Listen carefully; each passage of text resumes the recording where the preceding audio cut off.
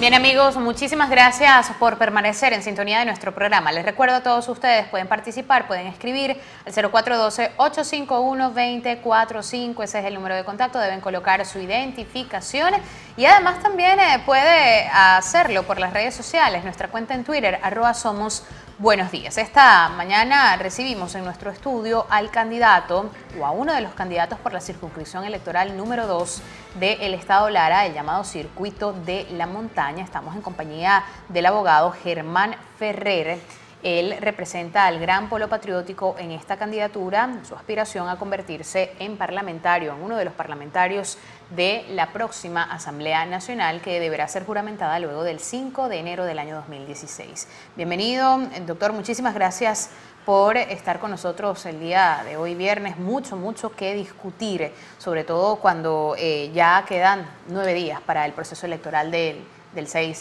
de diciembre, un proceso electoral bastante complejo, con una situación de país bastante compleja también. Sí, muy buenos días, Sabina, de verdad que te agradezco infinitamente la oportunidad que nos da, bueno, de dirigirnos a tu audiencia y a tu público. Eh, sí, nosotros estamos, yo particularmente, Germán Ferrer, candidato por el circuito número 2, eh, le llaman el circuito de la montaña, seis municipios, un circuito sumamente extenso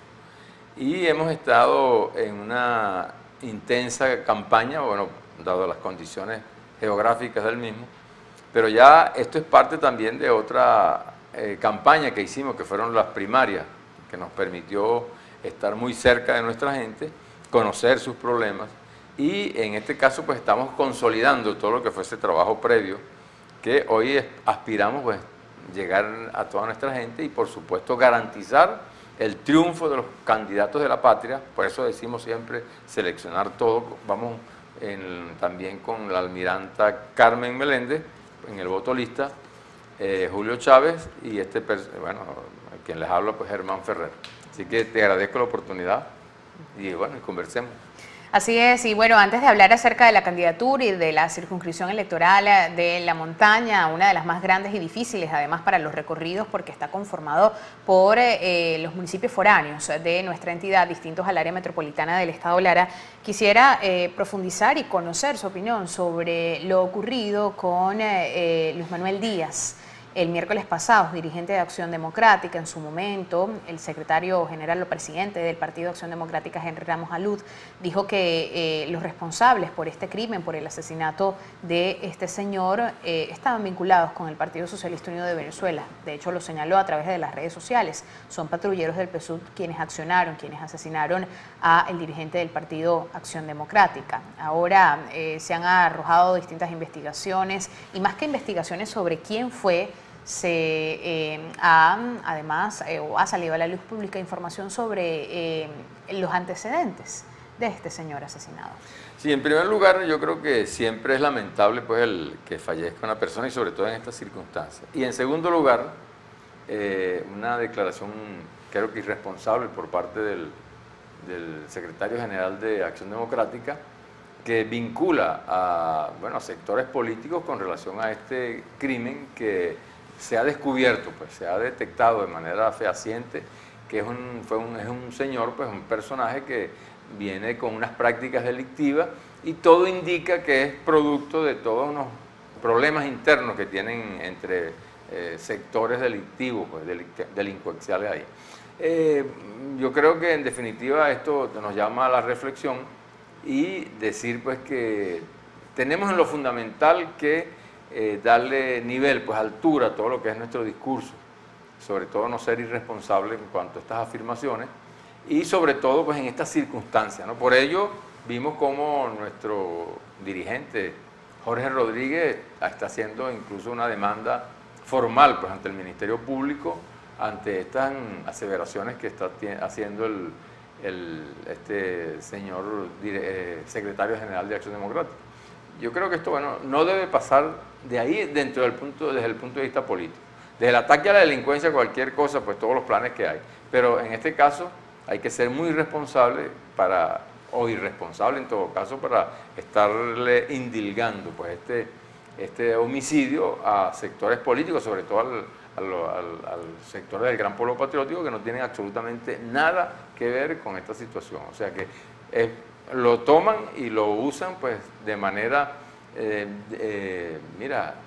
realmente irresponsable para estar enturbiando lo que tiene que ser una contienda electoral dentro de un Estado democrático con absoluta libertad, como se ha demostrado en Venezuela, eh, que tenemos bueno, todas las posibilidades, todas las ventajas que tienen esto, el, CNE, el, Consejo, Nacional, Electoral. Que ha sido auditado y ha tenido toda todas las visiones del mundo puestas en él. Y, para decir que exactamente pues el CNE es un organismo confiable, y no estar enturbiando pues esta, esta campaña que Doctor Ferrer, el hecho de haber estado presente en ese, en ese acto público, Lilian Tintori, esposa de, Leopoldo López, ¿no eh, deja quizás entrever sobre la posibilidad, y lo ha dicho ella misma, atentaron contra mi vida? No, no sé, evidentemente que no sé, no fue contra ella, fue contra este ciudadano que, que fue asesinado, producto de sus problemas internos, como todo indica, dentro de bandas que lamentablemente pues eh, se incrustan o dentro de lo que es la política nacional, lamentablemente en partidos que en este momento pues están siendo incluso llevando adelante muchas acciones violentas. Y el hecho de que esté ahí la señora Tintori pues eso